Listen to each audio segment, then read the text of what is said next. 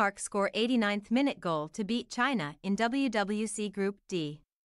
Substitute Amalie Vangsgaard headed home a last-minute goal to give Denmark a winning start to their first Women's World Cup campaign since 2007 with a 1-0 victory against China at Perth Rectangular Stadium on Saturday.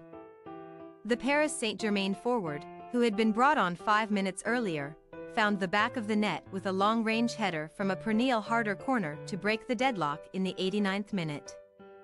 Harder, playing her first World Cup, was a prominent forward presence for the Danes, who controlled possession but found it difficult to carve out clear chances. The first genuine scoring opportunity from either side in a scrappy contest came in the 52nd minute when Denmark's Josephine Hasbo failed to keep a header down in front of an open goal giving China an almighty reprieve. The reigning Asian champions played with a greater sense of urgency after bringing forward Wang Shuang on but came close to conceding an own goal in the 76th minute when a clearing header from skipper Wang Shanshan whistled past the post. England, who earlier beat Haiti 1-0 in Brisbane, are now joined by the Danes at the top of Group D, Denmark's next match comes against the European champions in Sydney on Friday after China face off with Haiti in Adelaide. Thanks for your watching. Don't forget to click the subscribed button and hit the bell icon for more.